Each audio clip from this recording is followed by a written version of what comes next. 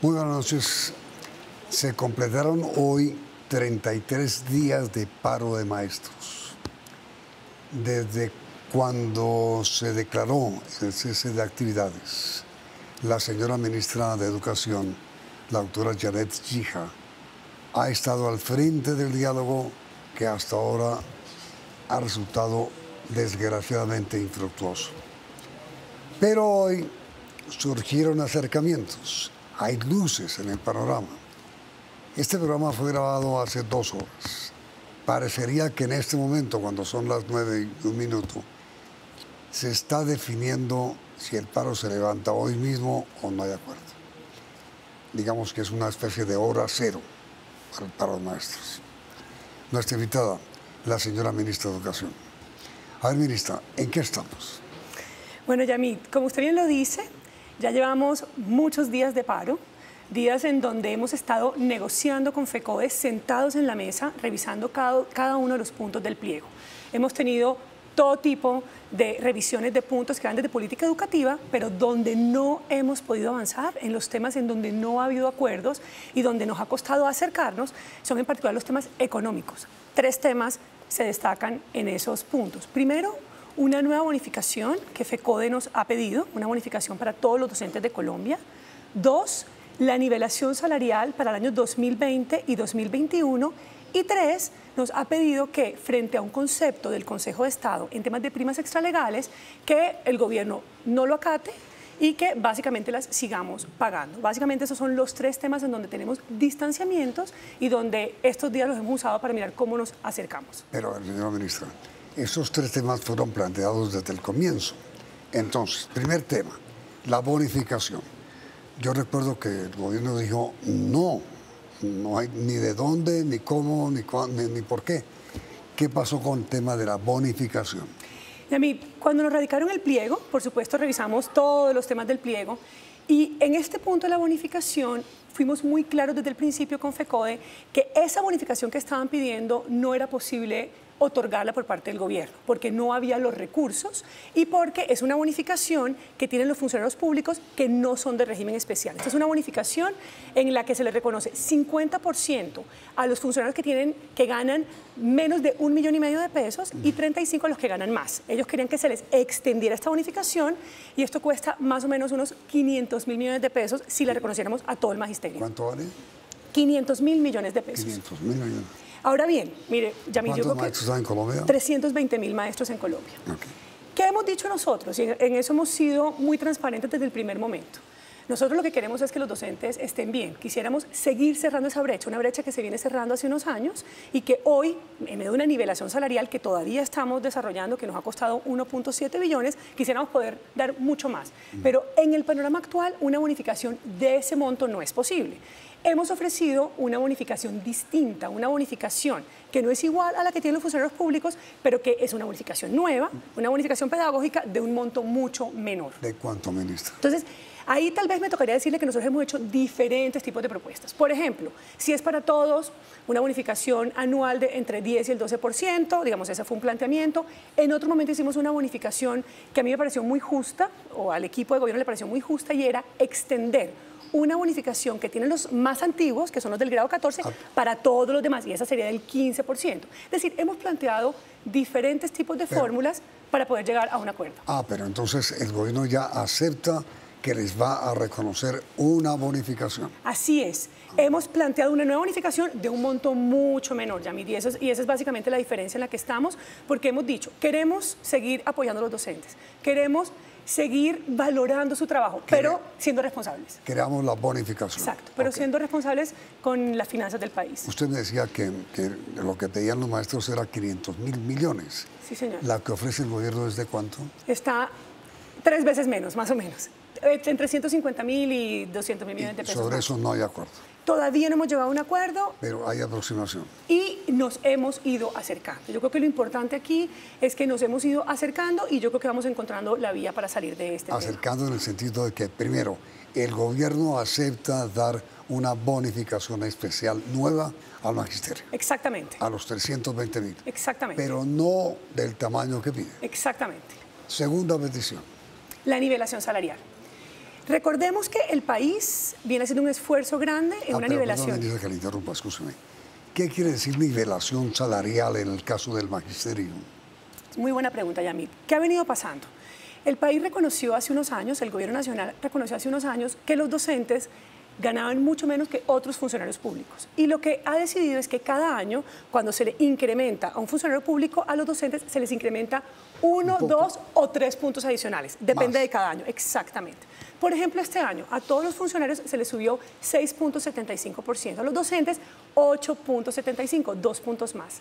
El año entrante van a ser tres puntos adicionales y en el 2019 tres puntos adicionales, para completar 12 puntos que vienen siendo planteados desde el 2014 hasta el 2019. ¿Qué quiere, el, qué quiere FECODE? Que se defina el incremento o la nivelación en el año 2020 y 2021. Entonces, básicamente nos están pidiendo dos puntos en el 2020 y dos puntos en el 2021. ¿Qué hemos dicho nosotros? ¿Qué ha planteado el gobierno en este caso? Que esa decisión básicamente pasa por una reforma muy importante que hay que hacer al Sistema General de Participaciones, que es el sistema por el cual se distribuyen los recursos a nivel nacional y por los cuales se paga, toda la educación pública, la nómina docente, eh, los recursos de servicios públicos para los colegios, es decir, se pagan todos los elementos que tienen que ver con la educación. Entonces, hoy en día, si queremos plantear estos recursos adicionales de la nivelación en el 2020 y 2021, requeriremos una reforma a ese sistema general de participaciones para que quepa ese nuevo gasto que hoy no está presupuestado. Pero entiendo, señora ministra, que hay otro problema y es este. El gobierno puede perfectamente, el gobierno termina el año entrante. Sí, señor. El gobierno puede perfectamente decidir aumentos para el año entrante, porque es su periodo, año 18. Así es. Puede inclusive incluir aumentos para el año 19, donde ya no gobierna porque presenta el presupuesto. Pero ¿qué pasa para el 20? Eso es lo que hemos planteado, Yamir. Incluso en una de las propuestas que le hicimos a FECODE era, dejábamos planteada esa posible nivelación sujeto a dos componentes, a la reforma del Sistema General de, Participaciones y una revisión del nuevo gobierno que entre, porque creemos que es lo lógico y lo transparente Sí. y ojalá podamos avanzar en esa misma lógica. Pues que no llegue el gobierno y encuentre que... Entonces, ahí, ahí ese ha sido básicamente el planteamiento que hemos hecho. Y yo creo que ahí, Yamir, yo hoy soy muy optimista. Yo creo que ahí también So- vamos so- llegando. sobre este segundo tema. Porque eh, yo creo que FECODE ha venido entendiendo y el país entiende y los docentes entienden. Y yo creo que nadie quiere ir en contra de la financiación de la educación pública. Todos tenemos que ser de alguna manera responsables con eso. Y creo que en esa medida podemos acercarnos eh, a una redacción que nos deje tranquilos a todos. Entonces, primero, señora ministra, bonificación habrá. No de la dimensión, pero la habrá. Segundo, nivelación, la habrá también. Nivelación la plantearemos como una posibilidad de revisar si se puede llegar a esos montos que ellos solicitan dependiendo de la reforma del Sistema General de Participaciones y una revisión del nuevo gobierno, Y, básicamente. tercer- y ellos aceptan.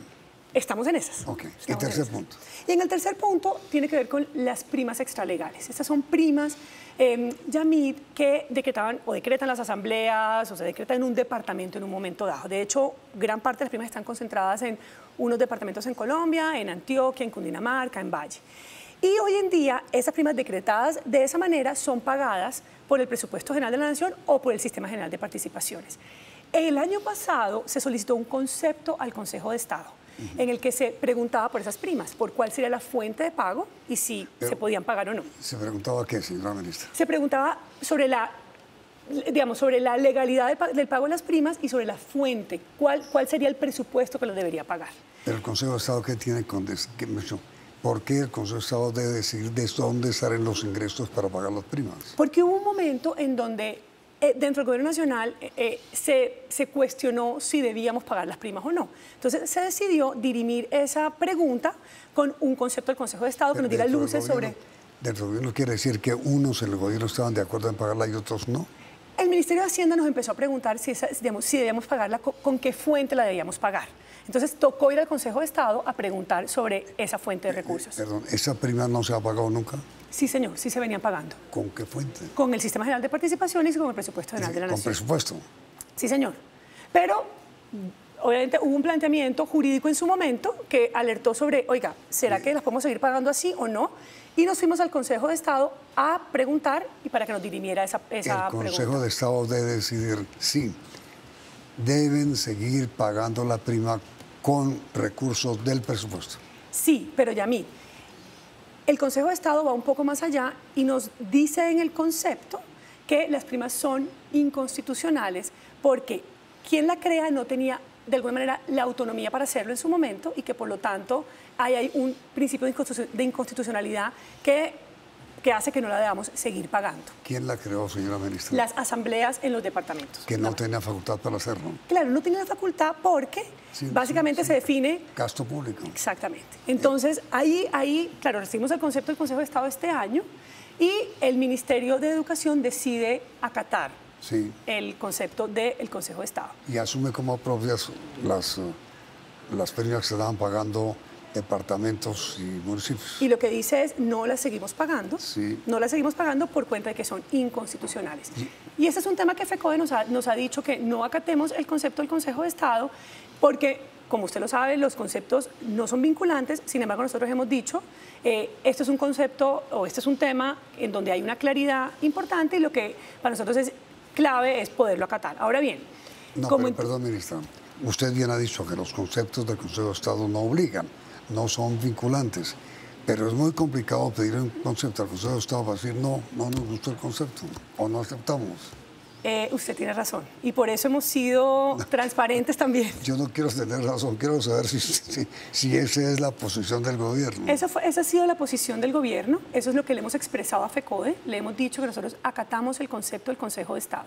Sin embargo, FECODE nos ha dicho, ha tenido una serie de preguntas eh, frente a ese concepto sobre derechos adquiridos, es decir, hay unos planteamientos que aparecen y como todo, Yamil, yo creo que siempre tenemos que ser abiertos, oír al otro, escuchar al otro y mirar dónde podemos eh, lograr puntos en común y puntos de acuerdo. Y por eso le hemos ofrecido a FECODE la posibilidad de pedir un concepto aclaratorio en donde se puedan definir algunos de estos puntos con miras a resolver si todo aquello que está planteado ahí eh, es tan tajante o no. Y yo creo que esa es parte como de la tarea y yo creo que ahí ojalá en esto también nos podamos acercar y lograr algo. A ver, ministra, un concepto aclaratorio para que el Consejo de Estado aclare qué. Por ejemplo. Inmediatamente después de comercial.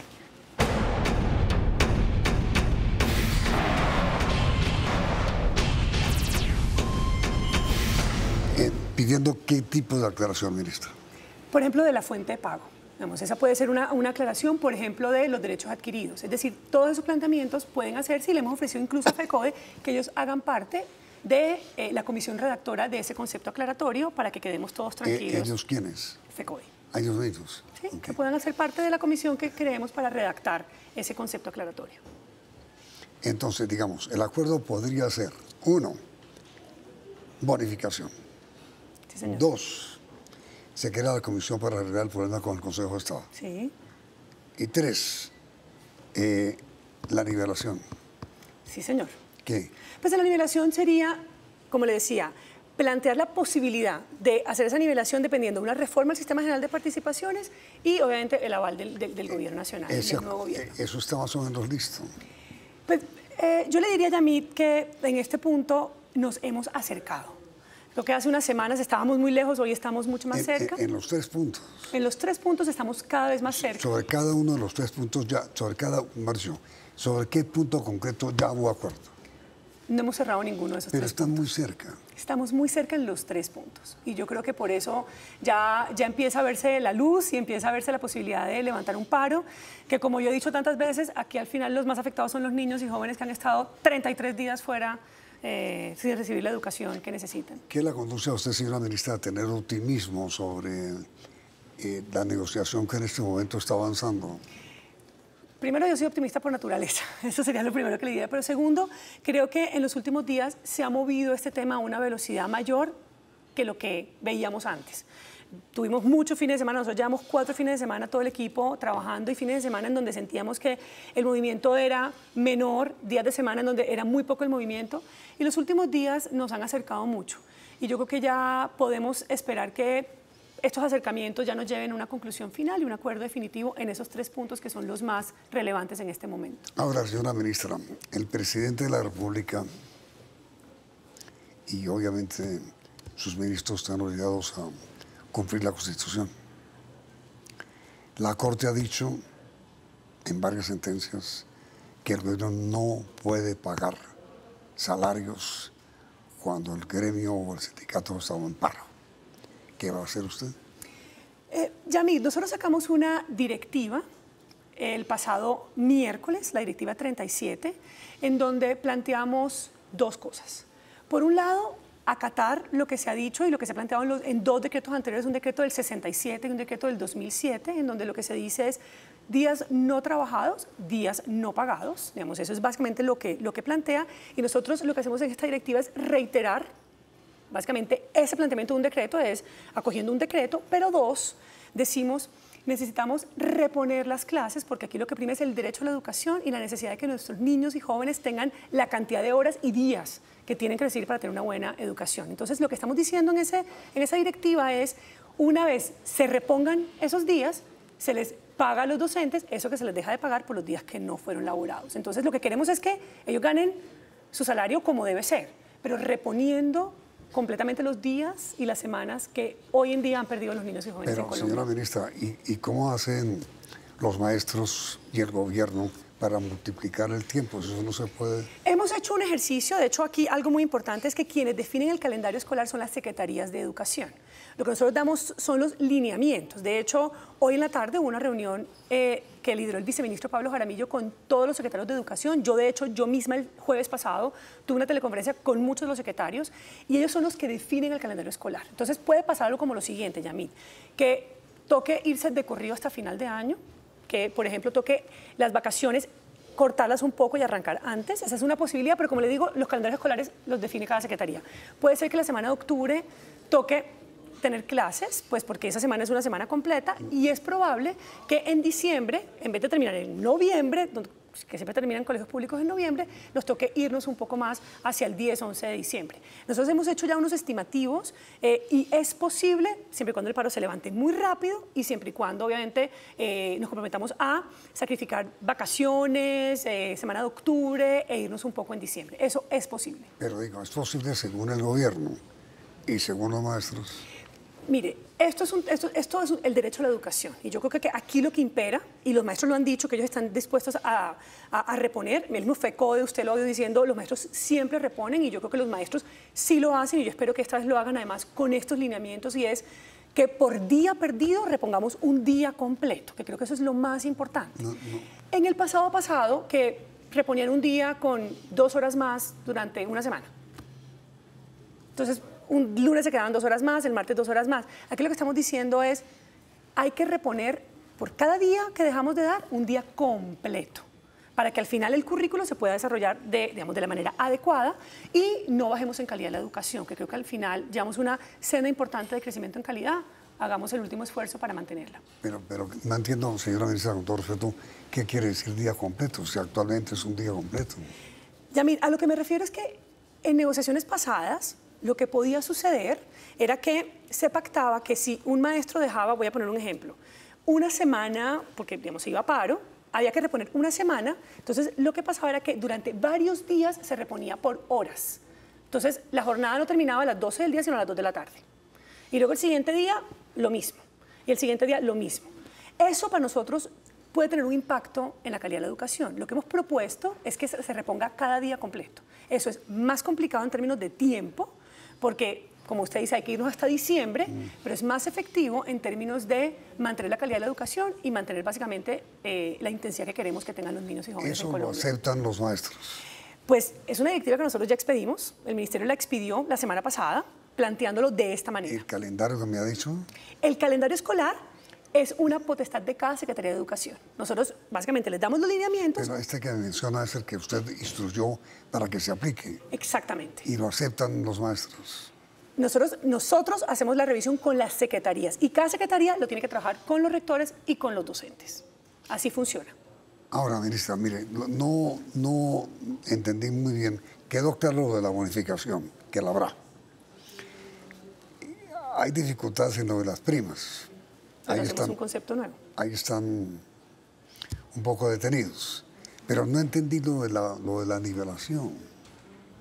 Usted mantiene la que es un punto Entonces, la nivelación, para, para, para recordarlo, ya, Sí. ya nosotros llevamos 12 puntos hasta el 2019. sí, Lo que nos están pidiendo es dos puntos más en el 2020 y dos puntos más en el 2021. Lo que quiero decir es que no entendí si ustedes en el gobierno actual van a decidir sobre nivelación en el 21 cuando ya no es este gobierno. Lo que nosotros hemos dicho es, vamos a dejar una redacción y de hecho ya hemos propuestas en la que se defina que vamos a revisar una reforma al sistema general de participaciones para mirar si se puede hacer esa nivelación sujeto a que el nuevo gobierno también lo pueda eh, validar, porque básicamente es una decisión, como usted dice, del nuevo gobierno. Ahora, señora ministra, yo parto de la base de que todo el acuerdo al que se llegue y que prácticamente está a punto de obtenerse debe tener la bendición del señor ministro de Hacienda. Lo que hasta ahora usted ha más o menos convenido o está más o menos convenido con el magisterio sobre bonificación, sobre nivelación y algo sobre primas tiene la bendición del ministerio. Totalmente, nosotros hemos estado todo el tiempo acompañados del viceministro Andrés, el del viceministro Andrés Escobar. Él ha acompañado las mesas desde el primer día, la misma paciencia que hemos tenido todos la ha tenido él. Y con el ministro Cárdenas, por supuesto, hablo de manera permanente y he tenido algunas reuniones con él en, particular sobre este tema. Nada de lo que estamos planteando, eh, básicamente lo hemos hecho ajenos a, la voluntad, a las posibilidades y al espacio que nos ha dado el presupuesto definido para Hacienda. Entonces, ministra, le hago yo a usted la pregunta que usted le va a hacer al, Consejo de Estado o pide el que le haga. ¿De dónde está? ¿Cuánto vale el acuerdo? ¿Cuánto vale el acuerdo? Con los maestros. Eh, el que, el que ellos están pidiendo, el que nosotros estamos pidiendo. el que se está acordando más o menos. Pues estamos hablando de, si es la bonificación, estamos hablando de, una cifra. No, porque eh, finalmente lo que es es la bonificación, es el único compromiso real. estamos hablando de, digamos, 150, 170 mil millones de pesos anuales. Sí, eso está, esa plata. Esa plata tenemos el espacio y eso es lo que Hacienda nos ha planteado y ese es el, por eso nunca hemos podido movernos mucho más de ahí pues porque no tenemos espacio para más. Eh, ¿Nivelación cuánto vale? La nivelación cuesta en el 2020 370 mil millones de pesos y en el 2021 un poco cerca de 400 mil millones de pesos. ¿Será incluido en el, presupuesto? Pues yo en, eso, en eso le he dicho que el compromiso no puede ser tajante porque tenemos que revisar el sistema general de participaciones. Entonces ahí no puede, ser, no, puede ser igual que la bonificación, que es seguro. Y no más allá del 20, ¿o sí? Pues es 2021 lo que están pidiendo y nosotros hemos dicho eso es de otro calibre es de una revisión del Sistema General de Participaciones, no lo podemos dar así nomás y por eso hay que redactarlo de otra manera. No, eso parecería, señora ministra, para resumir finalmente, que la, el dique surgió en las primas. Ese, el dique ha cambiado, ah. porque al principio era la bonificación, sí, ya se. Digamos, y ese estaba más allá que acá. Y en este punto, digamos, la redacción más compleja ha sido el tema de las primas, eh, de manera que podamos avanzar en ese punto. ¿Y, usted cree posible que esta noche lo de las primas se arregle? Yo creo posible todo. Yo creo posible todo. Creo que hay voluntad. Yo creo que en unos momentos no sentíamos tanta voluntad como la hay en este momento. Yo creo que estamos acercándonos y yo tengo fe en que esto lo podemos sacar adelante. Este, esos 33 días de... ¿Cuál es el periodo anual a medio año de, los, de vacaciones. De A partir de hoy, la mayoría de colegios de Colombia, de hecho, salvo Bogotá, a partir de hoy todos los colegios salieron a vacaciones. a partir de hoy lunes. Sí, exactamente. Y ahora deben entrar. Probablemente. Tenemos que revisar el calendario escolar. Pero sí, a partir de hoy, salvo Bogotá, que sale el próximo lunes. Por eso, lo que va a ocurrir es lo contrario, que, que entran.